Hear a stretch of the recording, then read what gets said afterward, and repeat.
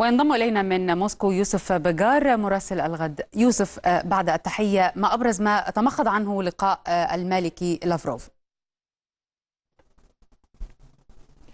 نعم ربما عندما يعنون المالكي زيارته إلى موسكو بأنها بحث عن حلول للخروج من المأزق الذي وضع فيه ترامب مسار التسوية أو العملية السلمية بين الفلسطينيين والإسرائيليين. ربما هذا يعكس مدى اقتناع السلطة الفلسطينية بأن الولايات المتحدة الأمريكية لم تعد وسيطا نزيها وناجحا لإدارة عملية السلام بين الإسرائيليين والفلسطينيين. إذا المالكي يبحث عن دعم روسي. الروسي للقرارات الأموي الأممية والمواثيق الأممية بما فيها مبدأ حل الدولتين وهذا ما أكد عليه وزير الخارجية الروسي سيرجي لافروف خلال اللقاء البروتوكولي الذي سبق المؤتمر الصحفي حينما أكد بأن موسكو تؤكد على مبدأ حل الدولتين هذا القانون الذي يضمن حقوق الشعب الفلسطيني. كذلك المالكي أثار نقطة مهمة جدا وهي دعم ترامب لمشاريع الاستيطان الإسرائيلي التي تنهش الأراضي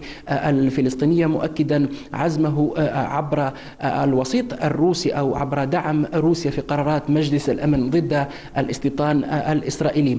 المصالحة الوطنية بين حركتي حماس وفتح كانت على طاولة هذه المحادثات. موسكو أكد أكدت بأنها تدعم جهود القاهرة في إدارة هذه الوساطة لإنهاء الانقسام بين حركتي فتح وحماس وقالت بأنها تدعم كل الجهود الرامية لإنهاء هذا الانقسام. هذا ما أكده المالكي كذلك عندما قال بأنه يدعم كذلك الجهود الروسية لدعم المساعي المصرية لإنهاء هذا لإنهاء الانقسام بين حركتي فتح وحماس. بعودة إلى مشروع السلام قالت موسكو بأنها مستعدة لتكون منصة لحوار بناء بين الفلسطينيين والإسرائيليين لكنها اشترطت في البداية إنهاء الانقسام وإقامة مصالحة شاملة عن طريق الجهود التي تقودها مصر.